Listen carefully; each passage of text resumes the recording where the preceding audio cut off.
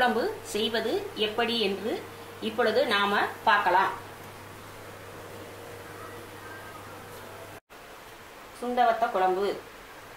தேவையான பொருட்கள் அரை ஸ்பூன் வெந்தயம் ரெண்டு ஸ்பூன் மல்லி ஒரு ஸ்பூன் மிளகு ஒரு ஸ்பூன் சீரகம் ஒரு ஸ்பூன் துவரம்பருப்பு ஒரு ஸ்பூன் கடலைப்பருப்பு சுண்டை வத்தல் எள்ளு வெங்காயம் மிளகாய் வத்தல் குண்டு மிளகாய் வத்தல் கறிவேப்பிலை புளி.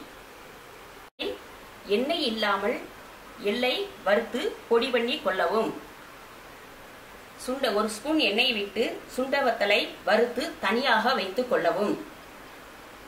இந்த- இந்த இரண்டையும் சுண்டை வத்தலையும் எள்ளையும் தனியாக வைத்துக் கொள்ளணும்.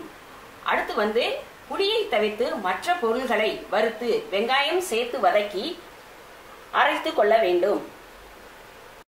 இந்த மாதிரி நீங்க பேஸ்டா அரைச்சிக்கிடணும். வானொலியில் வந்து க எண்ணெய் ஊற்றி கடுகு உளுந்து பருப்பு போட்டு ரெண்டு மிளகாய் போட்டு கடுகு வெடிச்ச உடனே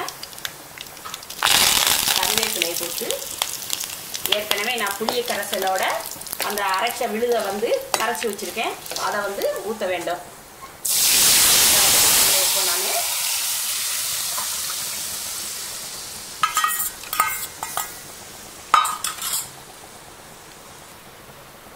அதோட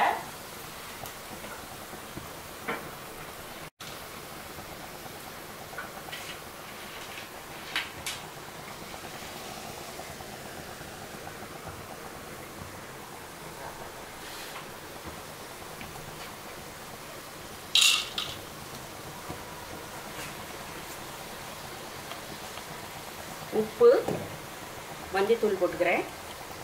நன்கு கொதிக்க விடணும்.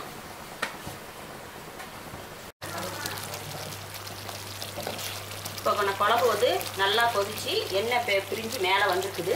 இப்போ கடைசியில் நம்ம வந்து ஒரு குண்டு வெள்ளத்தை வந்து போட்டு குழம்பை வந்து இறக்கிடலாம்.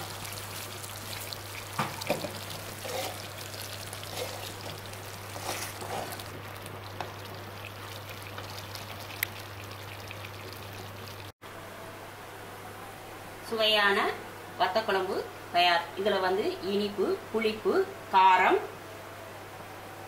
கசப்பு என ஐவகை சுவைகள் வந்து அடங்கிய குழம்பு. உடலுக்கும் நல்லது.